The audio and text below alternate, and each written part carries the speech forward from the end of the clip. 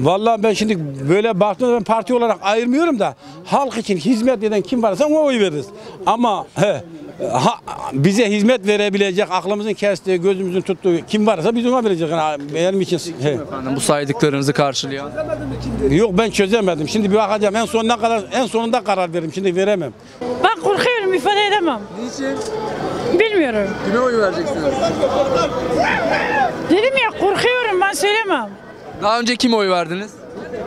Karışıka verdim. Herkese verdim diyebilirim. Nasıl yani?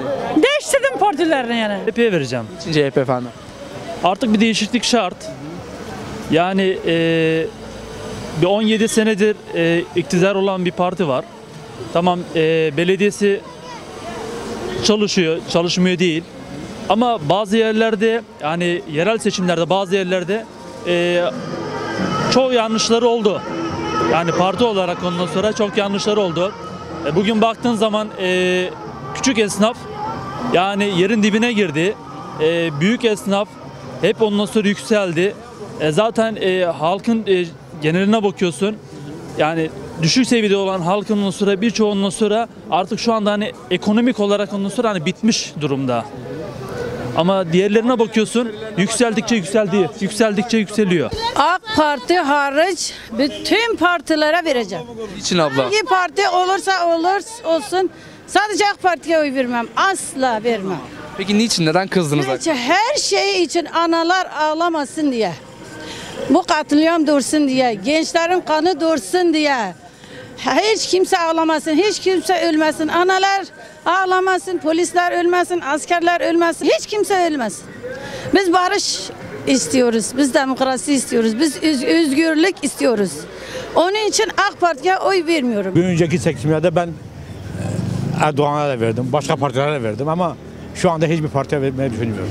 İmamoğlu'na vereceğim. Büyükşehir'de İmamoğlu. İmamoğlu aynı. Başakşehir'de efendim. Aynı. CHP mi vereceksiniz? Aynı. Peki niçin CHP? CHP benim için daha iyi olmalı lazım.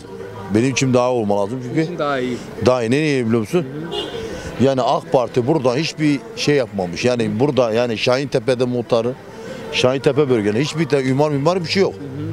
Anladın mı? Bir insanın da ama parası yoktu. Mesela örnek vereyim yani şöyle mesela AK Parti'den bir de desteklesin. Bana oy- gidin AK Parti oya olun. Ben size iş bulayım. Milyonlarca genç gençler mesela şu anda genç genç olarak da lise lise okumuş insanları işsiz. Yani sokakta yani işsiz yani. Gerçekten kriz var. Kararsızım ben şu an.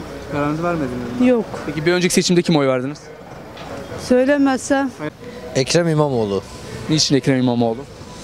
Yani Ekrem İmamoğlu gerçekten yani bence yani daha iyi gelecek yani İstanbul için. İstanbul olarak yani İstanbul'un bütün genelini yani CHP imam CHP yani yapabilir bunu. Yani bahşedebilir İstanbul'a. İstanbul'un bütün sorunlarını çözebilir. Yani ama gerçekten daha doğrusu şimdi bugüne kadar AK Parti'nin elindeydi Büyükşehir Belediyesi. Kim başa geldiyse de hep yediler. İstanbul'a bakın yani yeşillik alan diyor. Doğru düzgün bir yeşillik alan diyor. Ama bunu yapabilirler. daha düşünmedim. Kararınızı vermediniz mi? Vermedim. Niçin efendim? Ne İşte. diyeceksiniz? Bir önceki seçimde kim oy verdiniz? AK Parti'ye verdim. Yerel seçimde vermeyecek misiniz? Düşünüyorum. Peki düşünmeye sebep olan şeyler ne efendim? Neden kararsızsınız? Daha düşünmedim. Bakacağım nasıl olduğunu. Ama ben e, CHP'den yanayım. Niye CHP'den yanayım? Yönetim değişsin ki hani belki gelen kişi daha iyi bir şeyler yapabilir. Peki. 17 senedir iktidarda 16 senedir. Şimdi geçmiş hala vaatlerde bulunuyor. 10 16 senedir na- yapamadın mı? Yani bir de hani şey İmamoğlu hani iyi biri olarak gözüküyor yani. CHP. Niçin CHP? He? Niçin CHP? Bir de onu deneyeceğiz bakalım.